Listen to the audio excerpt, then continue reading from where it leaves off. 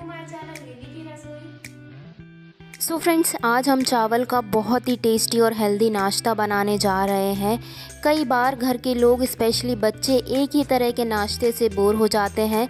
तो अगर आप भी बनाना चाहते हैं कुछ अलग डिफरेंट और बहुत ही ज़्यादा टेस्टी और हेल्दी तो ये रेसिपी आपके लिए बिल्कुल परफेक्ट है। इसलिए वीडियो को आखिरी तक ज़रूर देखिए। वीडियो पसंद आए तो लाइक कीजिए शेयर कीजिए, साथ ही चैनल को भी सब्सक्राइब कर लीजिए।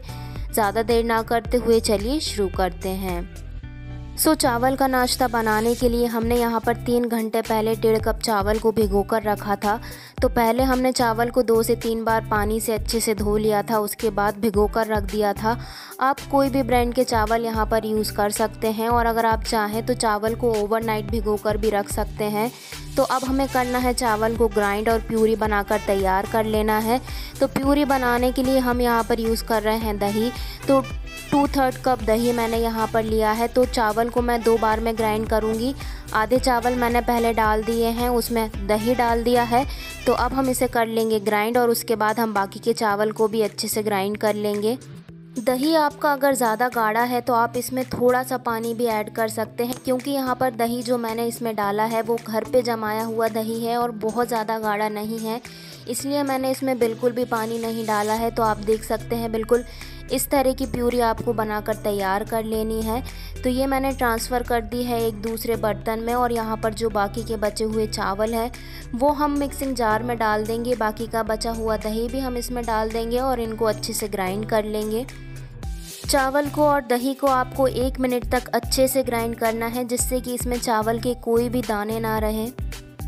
बाकी के बचे हुए चावल की प्यूरी भी हमने बना ली है, वो भी हम इसमें ऐड कर देंगे। अब हम इसमें ऐड कर रहे हैं सब्ज़ियाँ तो सब्जियों में सबसे पहले हमने दो से तीन मीडियम साइज़ की प्याज थी, जिन्हें एकदम बारीक चॉप कर लिया है और इसमें ऐड कर दिया है। दो मीडियम साइज़ के टमाटर जिन्हें हमने एकदम बारीक कट कर लिया है तो सभी इंग्रेडिएंट्स को आपको बिल्कुल एकदम बारीक कट करना है। तो यहाँ पर हरा धनिया, हरी मिर्च और एक छोटा टुकड़ा अदरक का हम मिक्सिंग जार में अच्छे से ग्राइंड कर लेंगे और वो पेस्ट भी हम इसी में डाल देंगे। आप चाहें तो हरी मिर्च और हरे धनिए को एकदम फाइनली चॉप्ड करके भी डाल सकते हैं, लेकिन मैंने यहाँ पर ग्राइंड करके डाला हुआ है। तो ये सभी इंग्रेडिएंट्स भी हम इसमें डाल देंगे। बाकी की सब्ज़ियाँ अगर आप इसमें कुछ ऐड करना चाहते हैं, जैसे कि शिमला मिर्च हो गई, गाजर हो गई तो वो भी आप ऐड कर सकते हैं। मैंने इसमें इतनी ही सब्ज़ियाँ ऐड की हुई हैं। तो यहाँ पर अब हम इसमें डालेंगे सबसे मेन इंग्रेडिएंट जो कि है नमक। तो नमक आप इसमें डाल दीजिए स्वाद अनुसार, और इसे बहुत ही अच्छे से आप मिला लीजिए इस तरह से। अच्छे से मिलाने के बाद अब हम इसमें ऐड कर रहे हैं वन टीस्पून फ्रूट सॉल्ट, यानी कि इनो। अगर आपके पास इनो अवेलेबल नहीं है तो आप इसमें आधा चम्मच मीठा सोडा, जो कि हम खाने में यूज़ करते हैं, वो आप इसमें ऐड कर सकते हैं। थोड़ा सा पानी मैं इनो के ऊपर डाल दूँगी डाइल्यूट करने के लिए, इसे हम अच्छे से मिला देंगे। तो चावल का ये नाश्ता बनाने के लिए एक छोटा सा पैन मैंने गैस पर चढ़ा दिया है। उसमें बिल्कुल थोड़ा सा तेल मैंने डाला हुआ है। तो इस तरह से राई के कुछ दाने हम डाल देंगे। जैसे ही तेल हल्का सा गर्म हो जाता है तो अब हम यहाँ पर डाल रहे हैं नाश्ते का बैटर, जो कि हमने बनाकर तैयार किया हुआ है। छोटी चम्मच से दो चम्मच मैंने इसमें बैटर डाल दिया है। गैस की फ्लेम को मैंने एकदम स्लो पर ही रखा है। तो इसे आप पकने के लिए छोड़ दीजिए स्लो फ्लेम पर। आप चाहें तो इसे नॉन स्टिक पैन में या तवे पर भी बना सकते हैं, क्योंकि इसमें शेप एकदम गोल आता है, इसलिए मैंने यहाँ पर छोटा वाला पैन इस्तेमाल किया है इन्हें बनाने के लिए।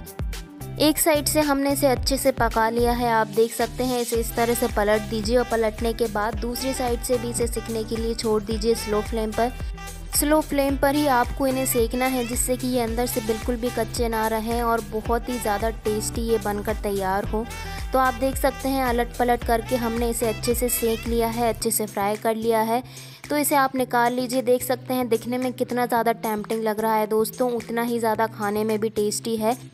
तो अगर आपके पास छोटा वाला पेन नहीं है तो आप बड़े पैन में भी बना सकते हैं। इसलिए मैं आपको एक बार बनाकर बता रही हूँ। तो इसमें हम दो एक साथ भी बना सकते हैं। तो आप थोड़ा सा तेल इसमें इस तरह से डाल दीजिए। जैसे ही तेल हल्का सा गर्म हो जाता है, राई के कुछ दाने आप इस पर डाल दीजिए। नाश्ते का जो बैटर है, जैसे हमने पहले डाला था, दो छोटी चम्मच वैसे ही आपको इसमें डालना है। बस इसमें शेप एकदम परफेक्ट नहीं आ पाएगा, लेकिन टेस्ट में बिल्कुल भी फ़र्क नहीं आएगा। अगर आप इस तरह से बनाना चाहते हैं तो इस तरह से भी बिल्कुल बना सकते हैं। तो जैसे हमने इन्हें पहले सेंका था, वैसे ही आपको एक साइड से अच्छे से इन्हें सेंक लेना है। जैसे ही जो लेयर है ऊपर की ड्राई होने लगती है, आप इसे पलट दीजिए और अलट पलट करके आप इन्हें दोनों साइड से अच्छे से फ्राई कर लीजिए। अच्छे से स्लो फ्लेम पर इन्हें सेंक लीजिए, जिससे कि ये अंदर से अच्छे से पक जाएँ और खाने में बहुत ही ज़्यादा टेस्टी लगे। तो इस तरह से आपको सभी बनाकर तैयार कर लेना है। देखा आपने कितनी आसानी से हमने ये चावल का टेस्टी नाश्ता बनाया है और बहुत ज़्यादा हेल्दी भी है। आप इसमें बाकी की सब्ज़ियाँ भी ऐड कर सकते हैं और बिल्कुल कम तेल में हमने इन्हें सेका है। तो चावल के और सब्जियों के गर्मा गर्म स्नैक्स हमारे बनकर तैयार हो चुके हैं। आप देख सकते हैं, आप ऊपर से जीरा, मन या चाट मसाला डालकर इन्हें सर्व करें। साथ में आप सॉस भी सर्व करें। सॉस से बहुत ही ज़्यादा टेस्टी लगते हैं दोस्तों। तो उम्मीद करते हैं आपको हमारा ये वीडियो अच्छा लगा होगा। अपने दोस्तों के साथ शेयर ज़रूर करें। साथ ही हमारे चैनल को सब्सक्राइब कर लें, क्योंकि हम इसी तरह की यूनिक रेसिपीज़ हमेशा लाते रहते हैं। तो जल्दी ही हाजिर होते हैं एक नए वीडियो के साथ। तब तक के लिए आप खुश रहिए, मुस्कुराते रहिए। धन्यवाद।